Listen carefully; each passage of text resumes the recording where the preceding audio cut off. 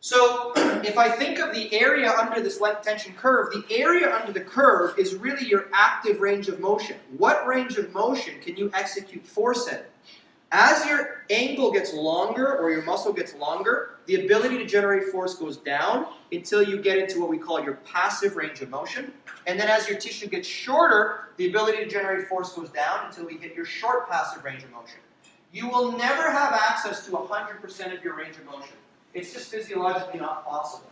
But the purpose, one of the purposes of FRC is to grab as much of that range as I can.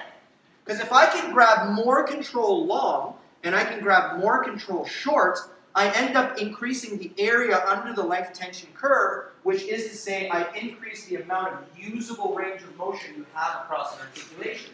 That can be defined very at a low level as mobility the ability to use one's angles or one's ranges. Is everyone okay with that? So part of the training in FRC is, can I try to capture passive ranges of motion and make them active? Now you might look at this thing and you go, well, the reason why the curve is as such is because of the sliding filament theory. Do you guys remember the sliding filament theory in physiology? It's the way muscles contract.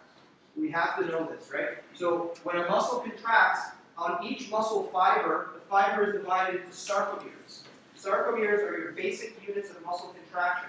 It's the things that have the actin, actin and myosin uh, proteins that cross bridges were made, and then actin and myosin slid past each other, muscle shortened. You guys remember that?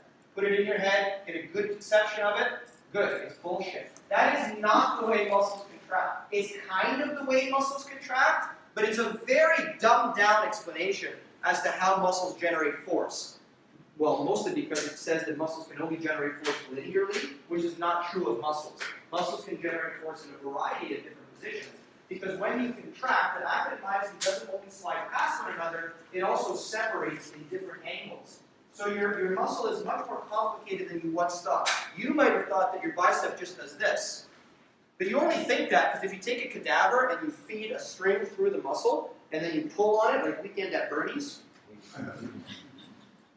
that's how we learn what our muscles do. And we assume that our muscles only contract along the lines of our muscles. So the bicep does this. But the bicep also does that, and this, and that.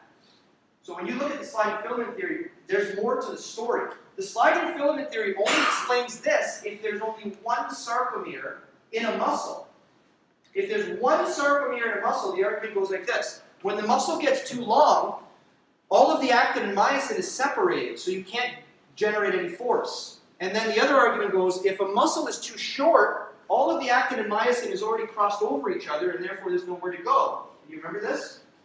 But the problem is that's only true if there's one sarcomere in muscle. But across one muscle cell, you have thousands of sarcomeres. Thousands of sarcomeres. And forgive, uh, forgive me if I'm wrong, but most of your clients are three-dimensional beings. True or false? Okay, so not only do you have a lot of sarcomeres on one fiber, but there's depth. You have thousands of fibers in a muscle. Each fiber is at a different depth, so depending on where you are, where actin and myosin is is going to be dependent on what depth you're